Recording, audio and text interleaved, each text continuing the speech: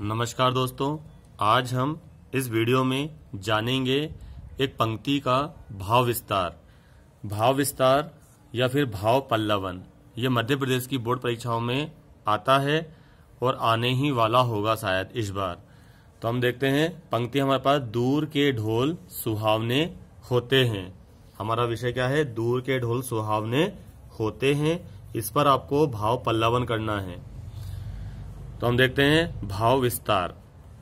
इस कहावत का अर्थ है कि यदि ढोल पास में बजे तो उसका शोर बड़ा ही कान फोड़ू होता है। किंतु यही ढोल की ध्वनि जब दूर से आती है, तब हमारे कानों में रस घोलती है।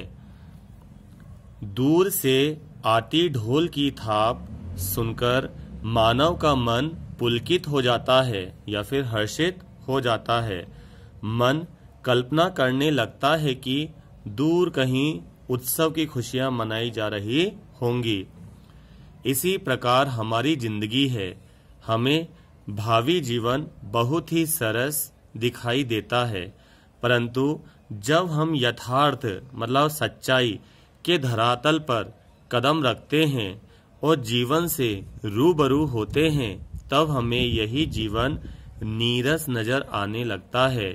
इसलिए रामचंद्र शुक्ल जी ने कहा है और सही कहा है कि दूर के ढोल सुहावने लगते हैं, अर्थात ज़िंदगी दूर से ही अच्छी लगती है और ज़िंदगी के अवस्थाओं में जब हम उतरते जाते हैं तो हमें नीरस लगती है। धन्यवाद दोस्तों।